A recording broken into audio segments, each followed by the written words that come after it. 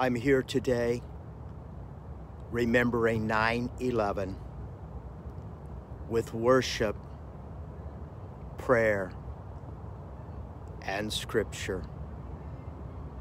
19 years ago, we discovered comfort, strength, courage, and peace through prayer and scripture. In the next few moments, our prayer vigil at the California State Capitol will be walking, reading God's Word, praying, and worshiping. We are here to remember and honor the thousands of innocent men and women and children murdered by terrorists in the horrific attacks of September 11, 2001. At 5:46 a.m., the first tower was hit.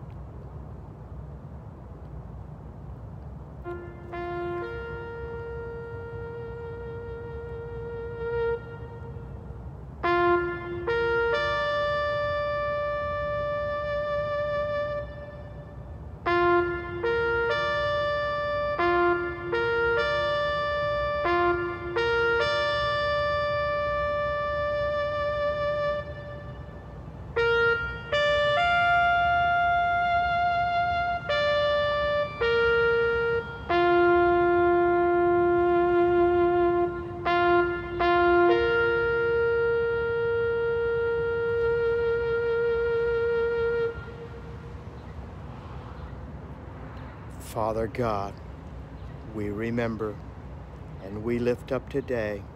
In Jesus' name.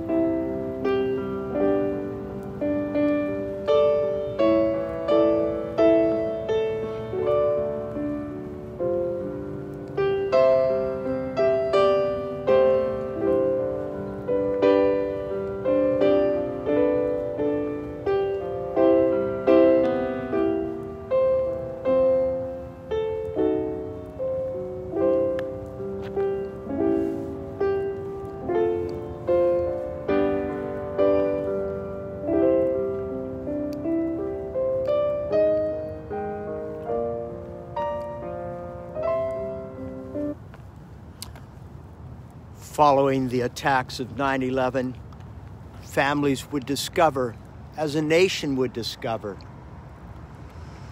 that Jesus said, Blessed are they that mourn, for they shall be comforted.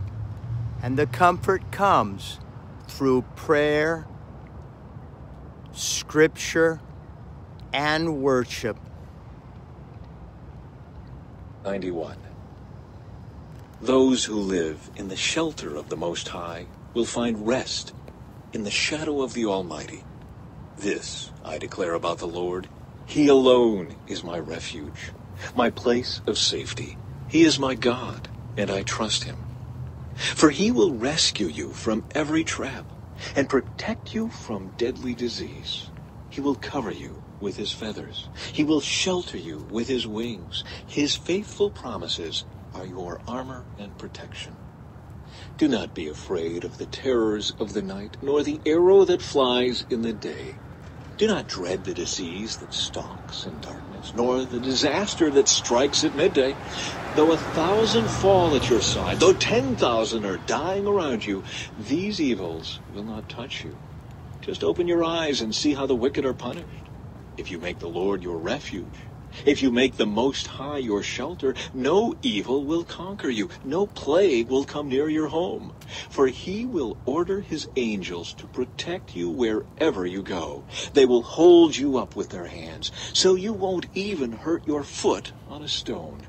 You will trample upon lions and cobras. You will crush fierce lions and serpents under your feet. The Lord says, I will rescue those who love me. I will protect those who trust in my name. When they call on me, I will answer. I will be with them in trouble. I will rescue and honor them. I will reward them with a long life and give them my salvation. Father God, we thank you. We thank you, Father, that you comfort, you give us strength, you give us courage, you give us peace. We thank you for the power of prayer. We thank you for the scripture. Fill our hearts today. Fill our spirit today with your word.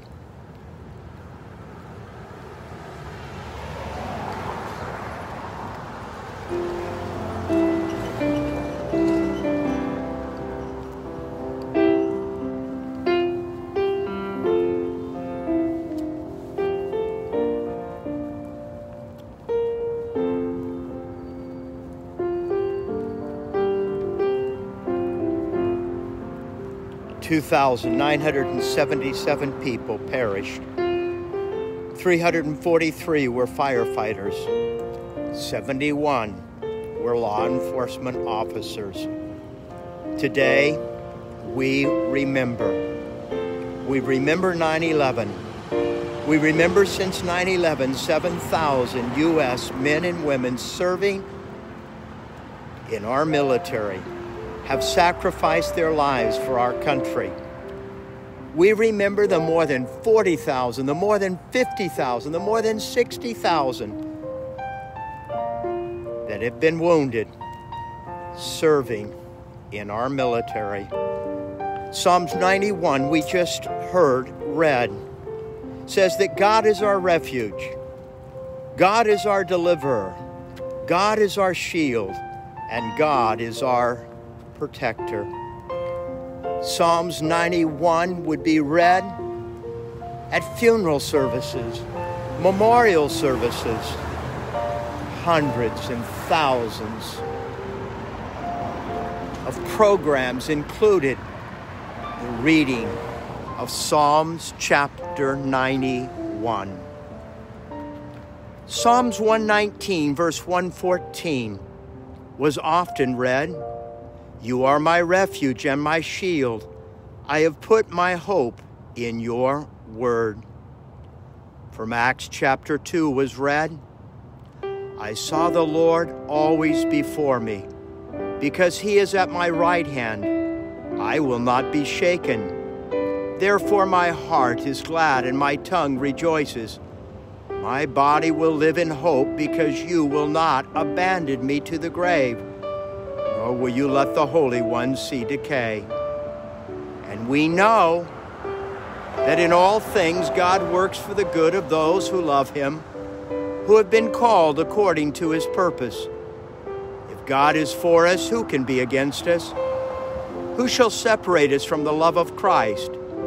Shall trouble, hardship, persecution, famine, nakedness, danger, or sword? Knowing all these things, we are more than conquerors through him who loved us. For I am convinced that neither death nor life, neither angel nor demon, neither the present nor the future, nor any power, neither height nor depth, nor anything else in all creation will be able to separate us from the love of God that is in Christ Jesus. In you, I trust, O Lord. Do not let me be put to shame. Let my enemies triumph over me. Let them not triumph over me. No one whose hope is in you will ever be put to shame, but they will be put without excuse. O Lord, He heals the brokenhearted and binds up the wounds. Psalms 147, verse 3. Yes, and I will remember them, and my soul is downcast within me. Yet this I call to mind, and therefore I have hope. Because of the Lord's great love, we are not consumed, for his compassions never fail. They are new every morning. Great is your faithfulness. Lamentations chapter 3, verse 20. The Lord is my rock, my fortress, and my deliverer. My God is my rock in whom I take refuge, my shield and the horn of my salvation and my stronghold. Psalms 118, verse 2. For I know the plans I have for you, declares the Lord plans to prosper you, not to harm you, plans to give you hope and a future. Jeremiah 29, verse 11. Dear friends, let us love one another, for love comes from God. Everyone who loves has been born of God and knows God. 1 John chapter 4 verse 7. I trembled inside when I heard all of this. My lips quivered with fear, my legs gave way beneath me, and I shook in terror. I will wait quiet, quietly for the coming day when disaster will strike the people who invade us, even though the fig trees have no blossoms and there are no grapes on the vine, even though the olive crop fails and the fields lie empty and barren. Even though the flocks die in the field and the cattle barns are empty, Yet I will rejoice in the Lord. I will be joyful in the Lord, our God of salvation. The sovereign Lord is my strength. He will make me as sure footed as a deer and bring me safely over the mountains. Habakkuk chapter 3, verse 16. But Those who hope in the Lord will renew their strength. They will soar on wings like eagles. They will run and not grow weary. They will walk and not faint.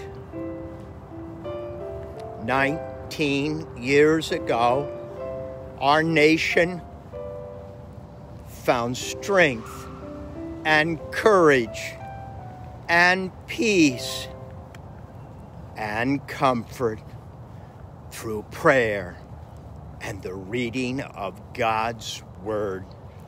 These scriptures were often read at services throughout our land.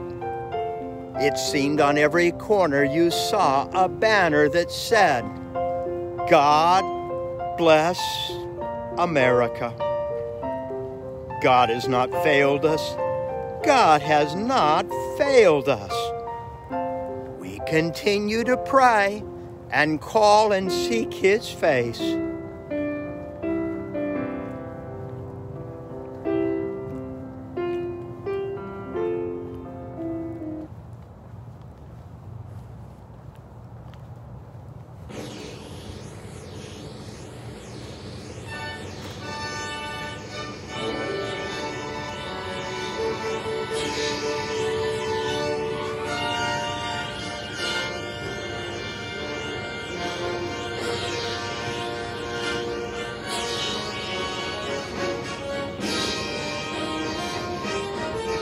Turn left.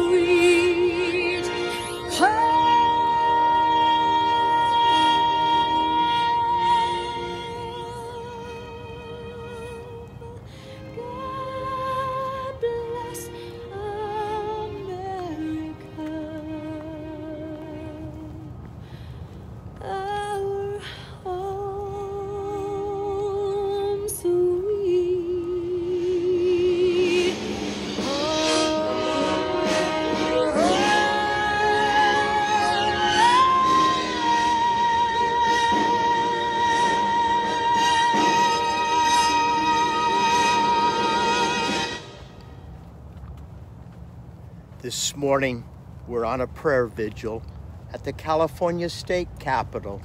We are remembering 9 11. Here at the Capitol are many monuments, many memorials. We arrive at the memorial for firefighters and we remember those that sacrificed their lives on 9 11 we remember 343 firefighters and 71 law enforcement officers. We remember.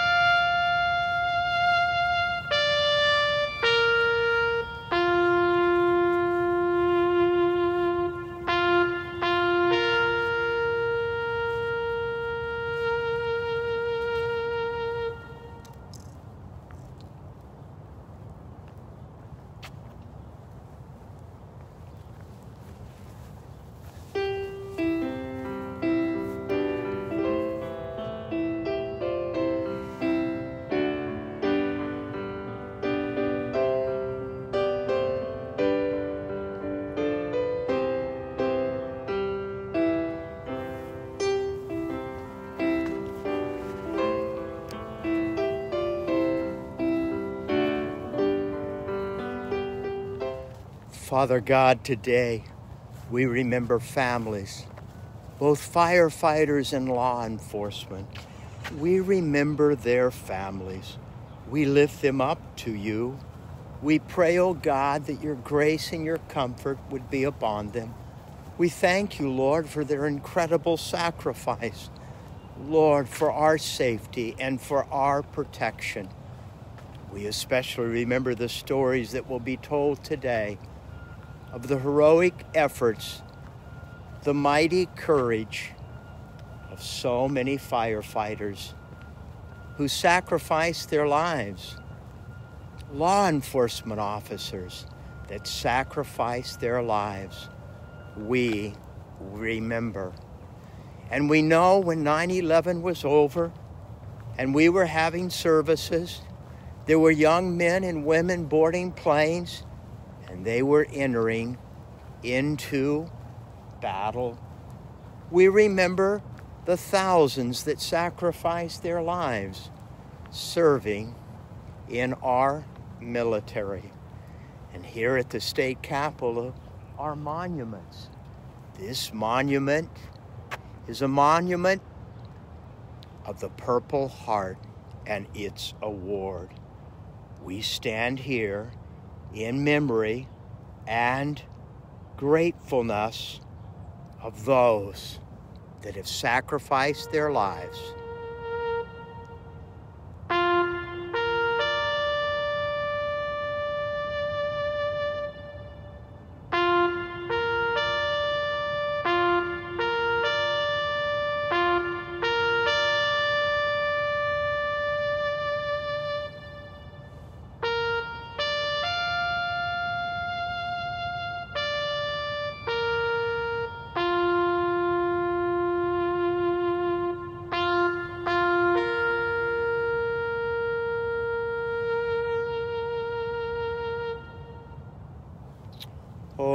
Jesus, we live in a generation that no one could have ever anticipated, no one could have ever seen coming.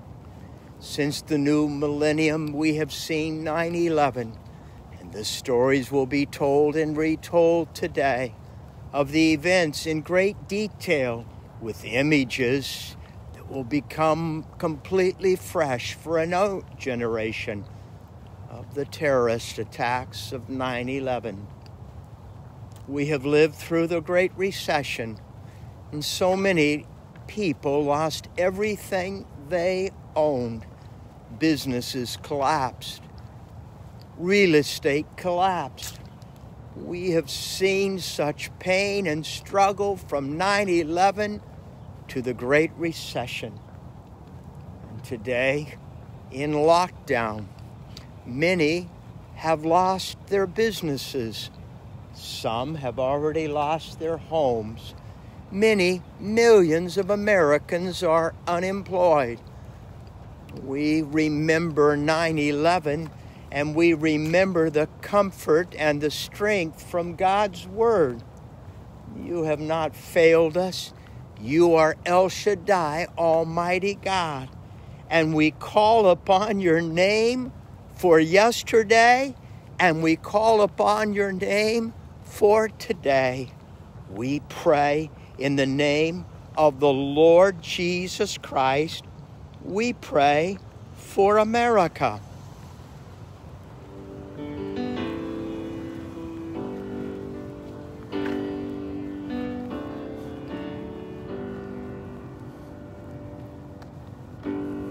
Give us back heart of America, the land we love. Let us return to the root of your righteousness. Once again, be ruled from above. Let the eagle fly again.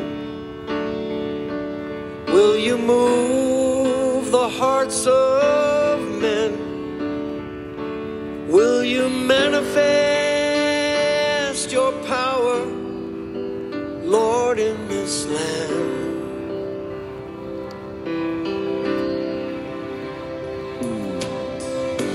Give us back the heart of America,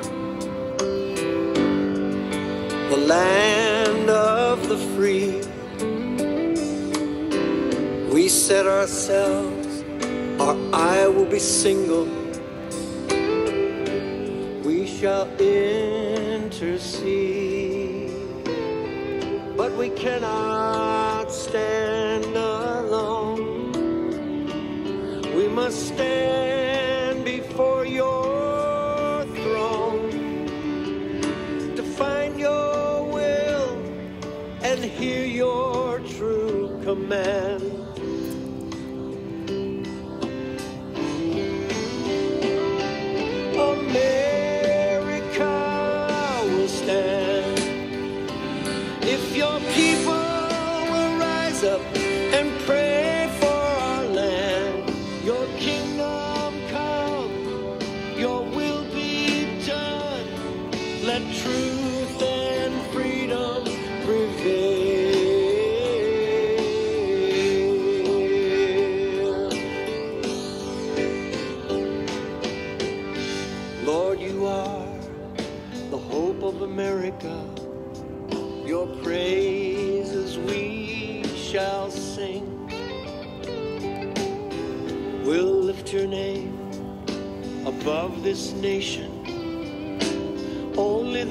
Can freedom truly reign?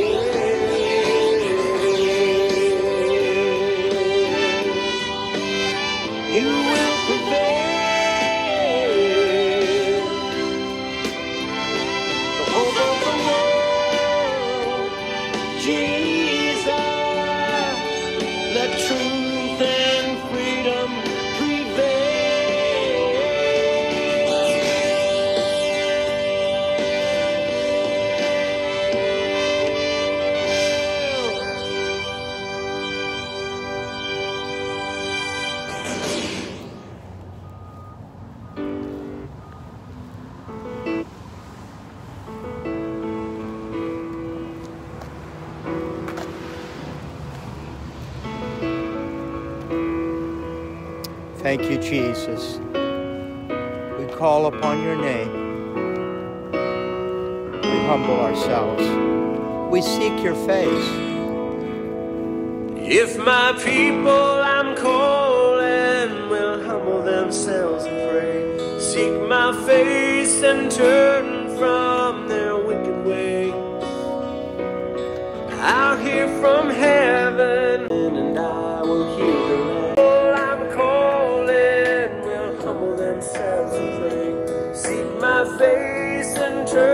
from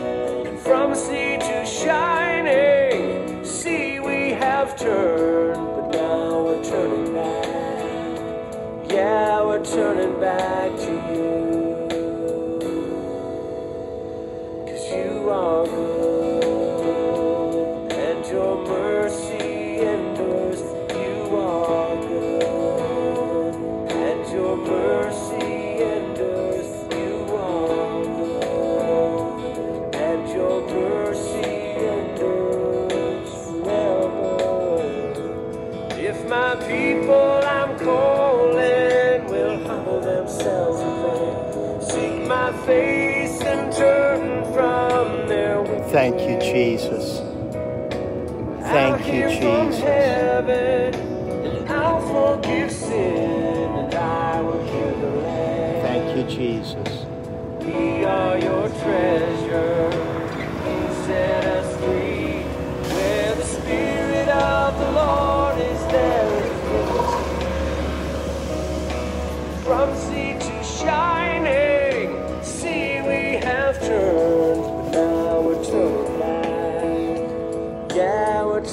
Back to you. Cause you are good, and your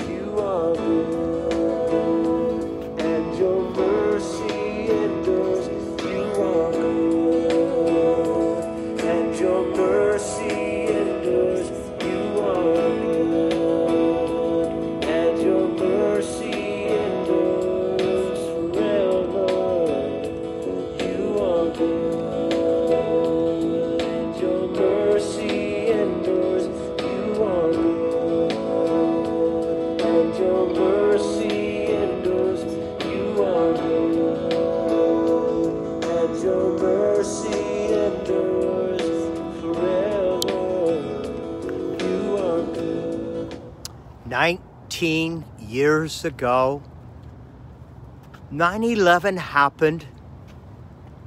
Fear, chaos, terrorism. It would change our world. We remember those that perished on 9 11.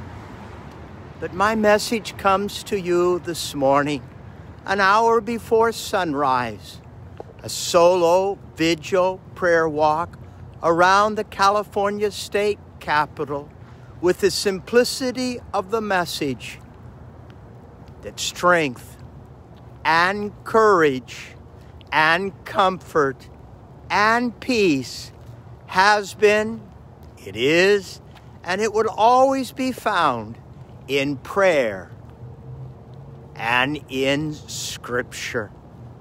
You will hear many, many stories today.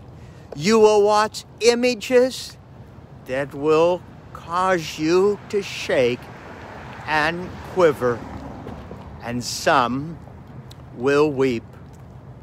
But uniquely, I bring to you a message today that the strength and the comfort and the peace and the courage came from reading God's Word and calling upon His name. Prayer and Scripture. These verses that I'm reading to you now were read at service after service after service throughout our nation. And why were they read? Because of the power in the Word of God, because of the strength and the courage and the peace they bring. Psalms 119, verse 14 Lord, you are my refuge and my shield. I have put my hope in your word. I saw the Lord always before me because he is at my right hand. I will not be shaken.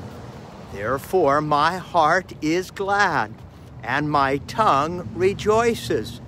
My body also will live in hope, because you will not abandon me to the grave, nor will you let your Holy One see decay.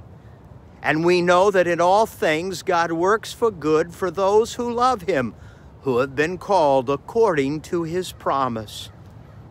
Who will separate us? Who will separate us from the love of Christ? Shall trouble, hardship, persecution, or famine, nakedness, danger, or sword? If God is for us, who can be against us?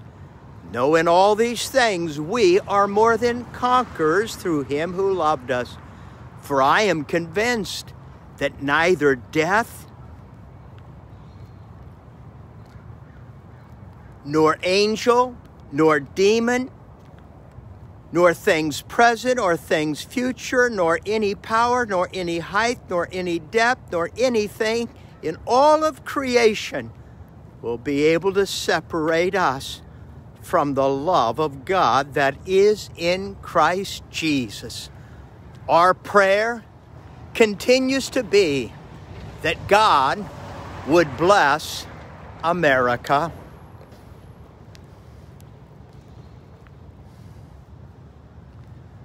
Oh Lord Jesus, we ask, oh God, that you would bless our nation. We call upon you, Lord. We call upon you, Lord. We ask for your blessing and your favor.